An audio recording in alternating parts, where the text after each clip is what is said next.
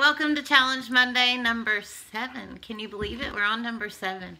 Um, the group is doing so good. I'm so proud of hearing everybody's progress. Um, so this week, we're going to take the capturing we started last week and we're going to take it a little bit further into shaping and we're going to play a game that gets your dogs thinking. And so we're going to have just a box. Everybody shops with Amazon, right? Or gets some delivery. So save one of your boxes and we're going to play a game with the box. So I'm going to teach you today how to get your dog to put its front two feet in the box. Okay? So here we go. And this is shaping. It's going to maybe go a little slow. We'll see. I don't know how fast it's going to go. This is a new game for Mr. Ringo. Ruby's done it before, but it's been a while, so we'll see how this goes. Here we go. So I'm going to present the box. And any interest in the box, I'm going to click. Good boy.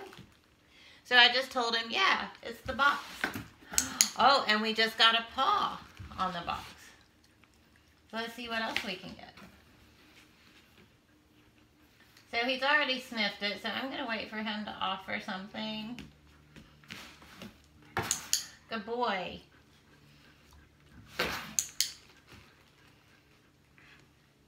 job. Good girl, Rube.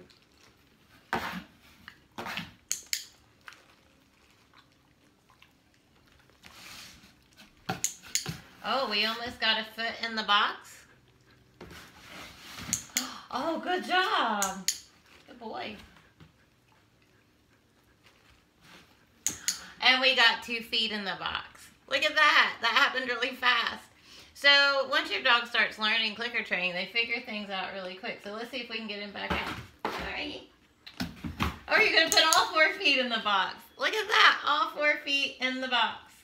Well, look at you go, mister. That wasn't even my goal because it's a pretty small box. Come get it. Goober, you're so good. You're so good. You want to do it again?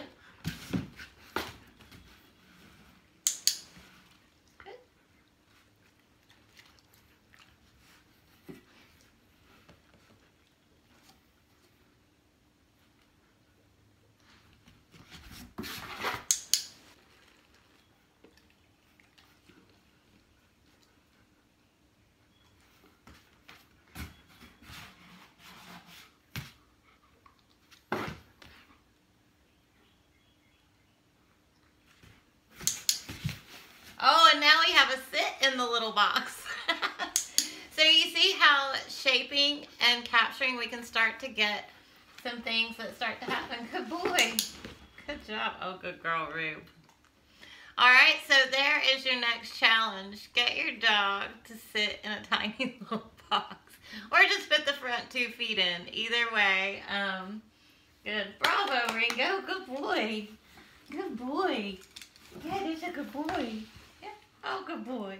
And she's a good girl.